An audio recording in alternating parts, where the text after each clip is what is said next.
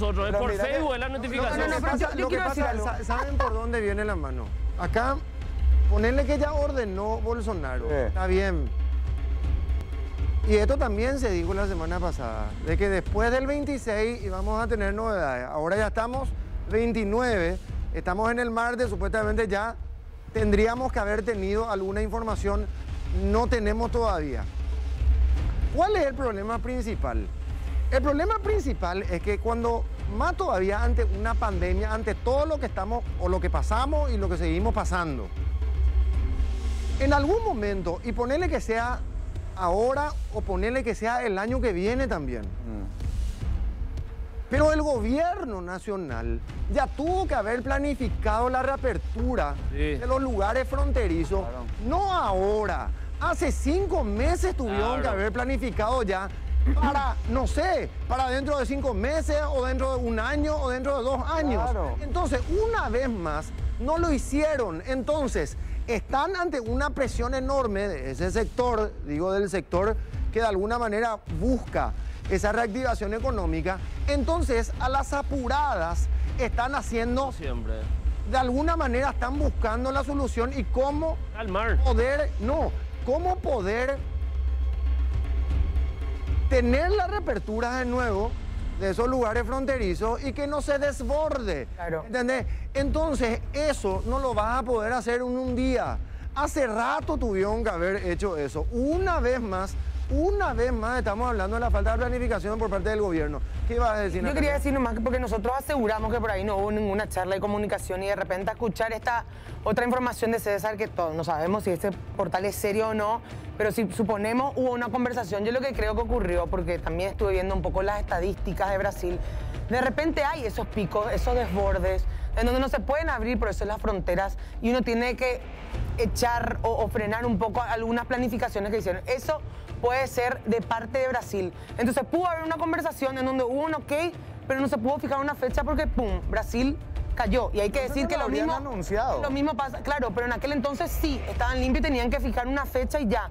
Pasa esto también, mañana se puede poner una fecha de reapertura y después uno, tres, cinco días antes, se ve que está todo un desastre, que no se puede reabrir y puede Pero cortarse. no porque cuesta nada informar eso, entonces. Claro, ahí por eso digo, a lo que para mí lo que está mal es que nunca, si es que hay una planificación, no hubiesen mostrado esto es lo que planificamos y esta planificación puede cambiar de acuerdo al proceso de lo que vaya ocurriendo con un contagio masivo. eso, Si nunca eso hay, nosotros vamos a estar más tranquilos. temas. Pero ¿qué pasa?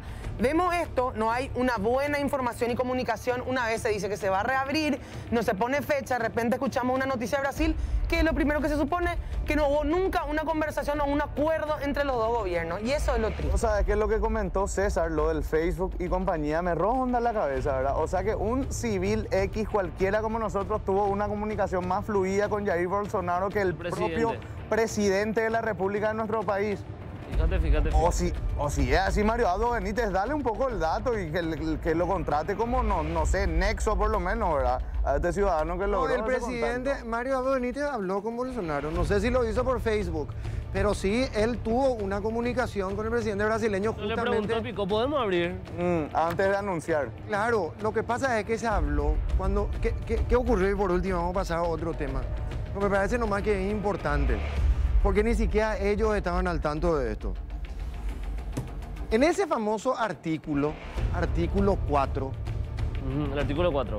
bueno, hablaba acerca de una ventanita con relación a esto, Sí. donde habla de esas ciudades gemelas. Los residentes fronterizos. Bueno, pero ese artículo cuarto no es de ahora.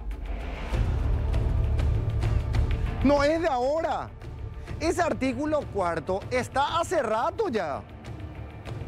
Entonces, ¿qué pasa? Cuando, cuando Paraguay le cierra la frontera y cuando Brasil pide la reapertura y Paraguay dice que no, Lo rebota, ¿verdad? ellos, ellos podían utilizar también ese artículo cuarto. Claro.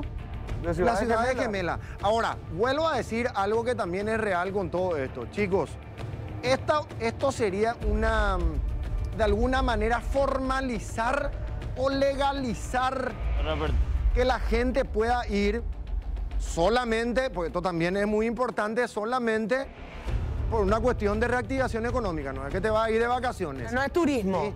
Se va a legalizar de alguna manera. Porque siempre se pasó. Acá no me vengan a decir que las fronteras estuvieron cerradas ocho meses y nadie podía pasar de Foz de Iguazú a Ciudad del Este o de Ciudad del Este a Foz de Iguazú. Siempre se pasó. Entonces, de alguna manera, formalizar creo que sería un buen punto y sería positivo por una cuestión de protocolo sanitario. Por lo menos legalizando, vos te vas a eh, o vas a percibir o vas a poder seguir el hilo, como se dice, de que la persona que ingrese, así debería ser al menos, por lo menos pase por un control sanitario. Si vos no tenés esa, esa legalidad, pasás como se te canta. Es peor. Y es mucho peor. Entonces, formalizando y que la persona de Foz de Iguazú que pase a Ciudad del Este para comprar o para vender, que me parece estupendo, y que la persona de Ciudad del Este también haga con un protocolo sanitario, es mucho mejor. Hay más garantías. Claro. Así mismo. En todo, en todo ocurre eso. La legalidad Normalizar todo. la legalidad, no, la legalidad de alguna manera puede ser, o de todas las maneras, puede ser mucho más positivo para todos, no solamente en este tema de las fronteras. Y es más seguro. Todo, es mucho más seguro. Es lo mismo con este tema del fútbol que tanto se está hablando. Eh, Claro. De, la- de las canchas Juegan, en- sintéticas. eh, hacen ya sus torneitos calladitos. Claro, pero ¿de qué te sirve que vos prohíbas que una persona o que un grupo vaya a jugar un partido de fútbol a una cancha sintética donde tenés que tener seguridad y el protocolo sanitario debe de existir en ese lugar? Que así debería ser. Y no hay igual. Mientras juegan. tanto, la gente se va a jugar sin ningún protocolo a las plazas. Claro, porque clandestinamente luego. Entonces, Claro, ¿qué por, protocolo por importa? eso te digo, por eso te digo, formalizando dentro de todo, por lo menos podemos tener esa seguridad sanitariamente hablando. Pero bueno, cosas de, de este